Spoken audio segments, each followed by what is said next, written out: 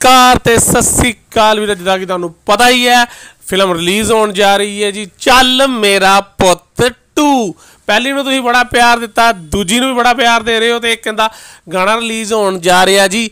ਮਾਝੇ ਵੱਲ ਦਾ, ਮਾਝੇ ਵੱਲ ਦਾ ਤੇ ਤੁਸੀਂ ਜਿਹੜੇ ਤੇ ਆਪਣੇ ਪੰਜਾਬੀ ਵੀਰ ਹੋ ਤੇ ਸਮਝ ਜਾਂਦੇ ਨੇ, ਮਾਝਾ ਕਿਹਨੂੰ ਕਹਿੰਦੇ ਨੇ? ਮਾਝੇ ਵੱਲ ਦਾ ਯਾਨੀ ਕਿ ਮਾਝੇ ਵਾਲੀ ਸਾਈਡ ਦਾ, ਯਾਨੀ ਕਿ ਕੋਈ ਮਾਝੇ ਦਾ ਹੁੰਦਾ, ਕੋਈ ਮਾਲਵੇ ਦਾ ਹੁੰਦਾ ਤੇ ਕੋਈ ਦੁਆਬੇ ਦਾ ਹੁੰਦਾ।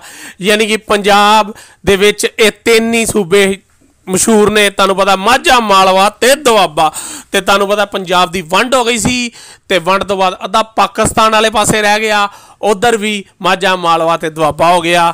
ਤੇ ਯਾਨੀ ਕਿ ਦੋ ਪੰਜਾਬ ਹੋ ਗਏ, ਇੱਕ ਚੜਦਾ ਪੰਜਾਬ ਤੇ ਇੱਕ ਲਹਿੰਦਾ ਪੰਜਾਬ, ਇਹਨਾਂ ਦੋਨਾਂ ਦੇ ਕਲਾਕਾਰਾਂ ਦੀ ਫਿਲਮ ਚੱਲ ਮੇਰਾ ਪੁੱਤ 2 ਦੇ ਵਿੱਚ ਪਾਕਿਸਤਾਨੀ ਕਲਾਕਾਰ ਤੇ ਇੰਡੀਅਨ ਕਲਾਕਾਰਾਂ ਦਾ ਮਿਕਸਚਰ ਆ ਰਹੀ ਹੈ ਫਿਲਮ ਤੇ ਜਰੂਰ ਫਿਲਮ ਨੂੰ ਪਿਆਰ ਦੇਣਾ ਤੇ ਇਹਦੇ ਗਾਣੇ ਨੂੰ ਵੀ ਮਾਝੇਵਾਲ ਦਾ ਤੇ ਅਮਰਿੰਦਰ ਗਿੱਲ ਨੇ ਇਹ ਗਾਣਾ ਬੋਲਿਆ ਜੀ। ਕੱਲ ਇਹ ਗਾਣਾ ਰਿਲੀਜ਼ ਹੋਣਾ ਤੇ ਸਭ ਤੋਂ ਪਹਿਲਾਂ ਮੈਜਿਕ ਵੇਲੀਆਂ ਚੈਨਲ ਨੇ ਲੈ ਆਣਾ ਜੀ। ਮਾਝੇਵਾਲ ਦਾ ਤੇ ਇਹਦਾ ਪਿਛਲਾ ਗਾਣਾ ਮਜਬੂਰੀ ਨੂੰ ਬਹੁਤ ਪਿਆਰ ਦਿੱਤਾ, ਜਿਹਦੇ ਵਿੱਚ ਸਾਫ਼ ਦਿਖਾਇਆ ਗਿਆ। ਸਭ ਦੀ ਕੋਈ ਨਾ ਕੋਈ ਮਜਬੂਰੀ ਹੈ ਐਵੇਂ ਤਾਂ ਨਹੀਂ ਕੋਈ ਵਿਦੇਸ਼ ਜਾਂਦਾ।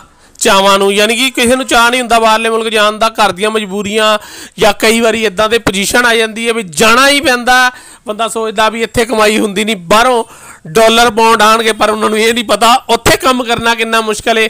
ਉੱਥੇ ਤੇ ਪਤਾ ਉਦੋਂ ਲੱਗਦਾ ਜਦੋਂ ਉੱਥੇ ਦੇ ਵਸੇ ਪੰਜਾਬੀਆਂ ਨੂੰ ਮਿਲਦੇ ਨੇ ਤੇ ਉਹ ਦੱਸਦੇ ਨੇ, ਅਸੀਂ ਕਿੱਦਾਂ ਇੱਥੇ ਕਾਮਯਾਬੀ ਹਾਸਿਲ ਕੀਤੀ ਹੈ? ਬਹੁਤ ਮੁਸ਼ਕਲ ਹੈ ਜੀ, ਬਾਹਰ ਇਸ ਕਰਕੇ ਸੁਪਨੇ ਘੱਟ ਦੇਖਿਆ ਕਰੋ। ਦੇਖਣੇ ਆ ਤੇ ਫਿਰ ਦੇਖੋ ਪਰ ਇਹ ਨਾ ਸੋਚੋ ਵੀ ਉੱਥੇ ਜਾਂਦੇ ਹੀ ਸਾਨੂੰ ਕੰਮ ਮਿਲ ਜਾਣੇਗਾ ਇਦਾਂ ਦੇ ਸੁਪਨੇ ਨਾ ਦੇਖੋ।